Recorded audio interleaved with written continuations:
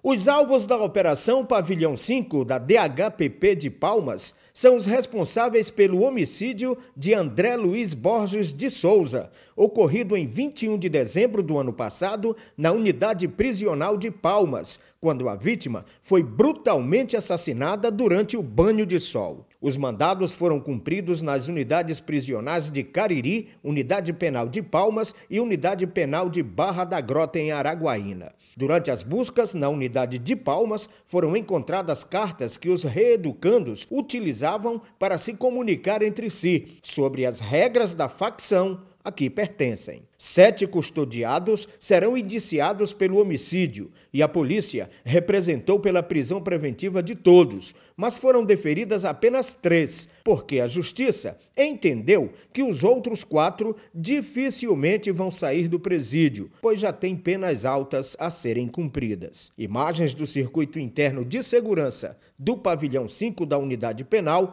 foram determinantes para identificar os autores que fizeram uma emboscada para a vítima no dia 21 de dezembro do ano passado, durante o banho de sol. A gente conseguiu perceber com uma análise bem aprofundada, que inclusive contou com o apoio da inteligência da Polícia Penal, que houve, antes da execução, houve uma, uma reunião de, de, de algumas lideranças dessa facção criminosa paulista que atua no Estado, é, com o intuito de é, organizar os atos executórios que culminariam no homicídio, né, no assassinato do preso André.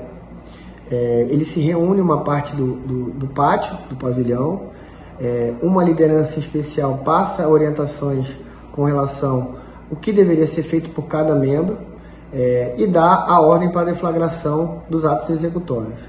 É, uma, outra, uma outra liderança recruta mais dois envolvidos nesse crime durante o banho de sol. Um desses envolvidos, um desses criminosos, é quem é, chama a vítima para o local de execução. E qual é esse local de execução?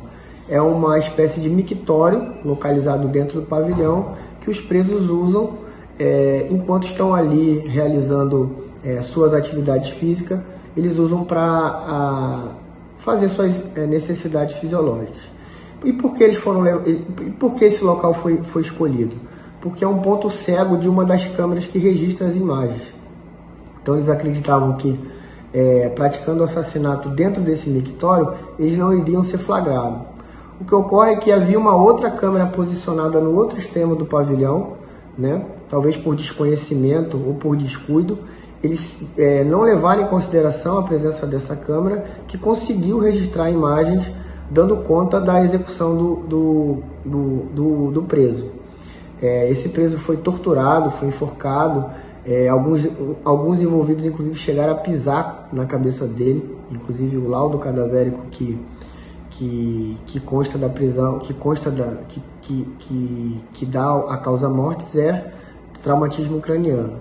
Então eles executam o preso dentro desse mictório e, e voltam ao banho de sol de como, como se nada tivesse acontecido. É um outro ponto importante em meio ao banho de sol, alguns presos que não têm envolvimento com, essa, com esse crime, é, eles montaram ali uma, uma roda de capoeira e esses presos envolvidos na, nesse crime se valeram dessa roda de capoeira para é, criar uma espécie de cortina humana para esconder parte dos atos executórios que culminaria na morte do André.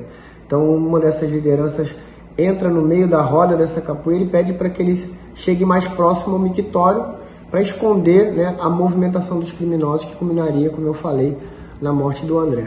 Serão indiciados por homicídio qualificado os detentos que tiveram apenas os apelidos divulgados: Bené, de 22 anos, Coringuinha, de 27 anos, Lambeta, de 31 anos, TH ou Arthur, de 30 anos, VRS, de 22 anos, Cigano, de 35 anos e Bozo, de 24 anos. Os sete envolvidos serão ouvidos nas respectivas unidades prisionais, com o intuito de averiguar a motivação para o crime. O teor das oitivas serão juntado ao processo, que será remetido ao Poder Judiciário com vistas ao Ministério Público, para que proceda o julgamento dos fatos.